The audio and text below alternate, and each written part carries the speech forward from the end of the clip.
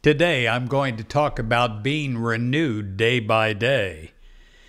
You know, some of the youngest people that I have known are literally in their 90s, chronologically.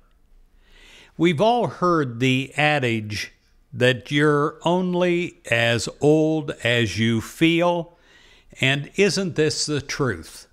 Those people that I talk about were playful and they they literally lived life to the fullest that sometimes when we're younger we don't do. No matter how mature we are in human terms, we are forever young in spirit because we have God's eternal spirit of love and joy within us. It says in 2 Corinthians 4, verse 16, our inner nature is being renewed day by day. Well, can you today feel the joy within you?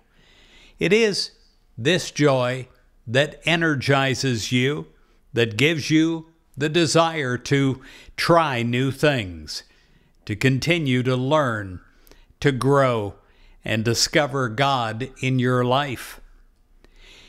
And it is the life of God that is within you that acts as a, a spiritual battery that continually is recharging you and giving you the strength that you need to carry on.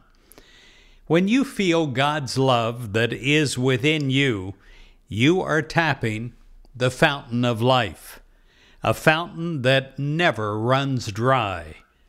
You are forever young with God because you're forever one with God and forever one with the source of your true happiness and your peace.